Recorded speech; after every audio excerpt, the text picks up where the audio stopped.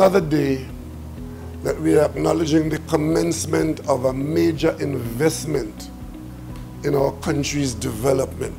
Ladies and gentlemen, a key feature of a developed country is high quality infrastructure and transportation services.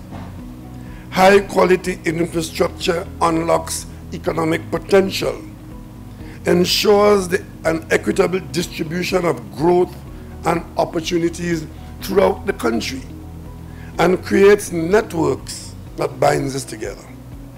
It also boosts productivity and competitiveness, allowing businesses to grow and prosper and to create employment and attract investment. This is not the only project that we are engaged in.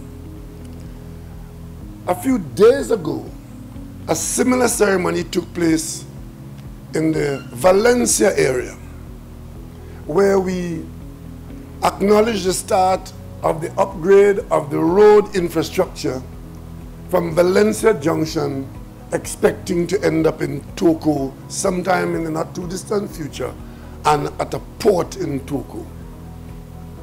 More recently, I visited the project of the highway from Cumuto to Sangre Grande, observing its progress. That was one that was started two years ago, had a year in the courthouse, and a year's work has gone on there. So we went to visit the actual um, work progress in the area. What these three projects are doing in the context of this paragraph in this program is saying that we are building infrastructure to improve transportation services. And why? Because that will boost productivity, competitiveness, allowing businesses to prosper, to create employment. And once that is happening, we are on our way. Good things are happening in Trinidad and Tobago.